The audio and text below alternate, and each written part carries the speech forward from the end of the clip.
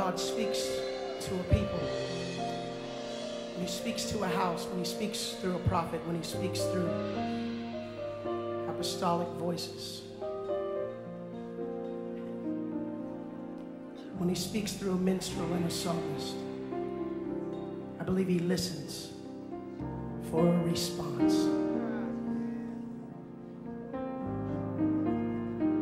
Let's respond tonight from the other side.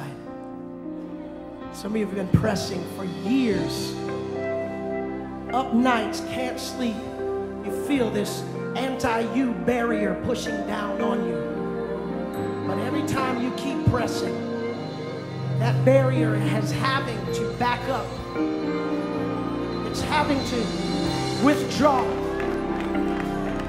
There's a glass ceiling that you've been hitting with the top of your head. And instead of getting upset at that glass ceiling and quitting, there's a heart rate that's rising. Your calf muscles are getting stronger. You're starting to jump again, regardless of the temporary pain you feel in your head, regardless of the temporary pain you feel in your body. There's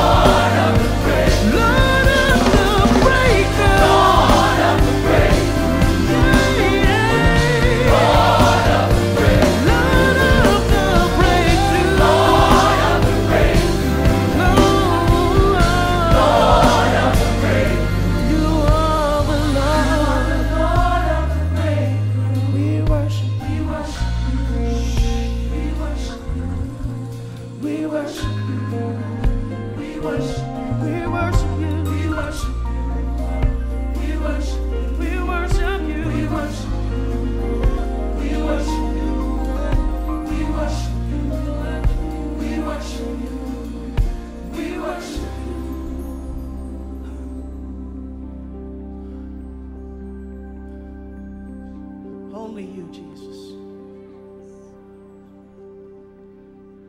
Only you, Lord.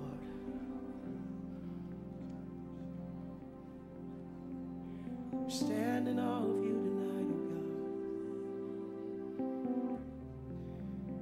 God. Every promise that you said, every promise that you made to us, we receive. Only you can do it. Only your word is unconditional. Only your love, only your love never fails. Only you, Lord. Mm. Oh.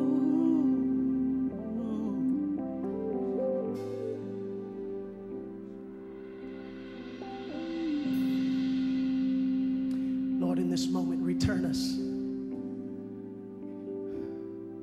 Return us to a sense of awe. Lord, I repent. I've used that word awesome to describe so many things. My favorite football team, my, my favorite pizza, somebody's suit or outfit or car. And then I come into your presence, and sometimes I've run out of words.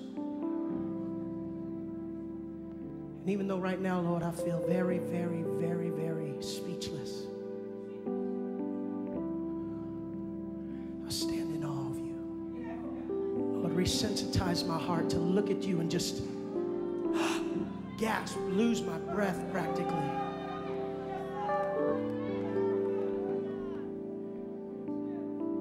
Let me feel again, Lord. Let me see. Even just a glimpse of your glory, even just a flash of who. And I'll never be the same. I see the Lord. I see the Lord. Exalted high upon the words above the people of the earth. I see the Lord. I see the Lord, and I'll never be the same. You take my breath away.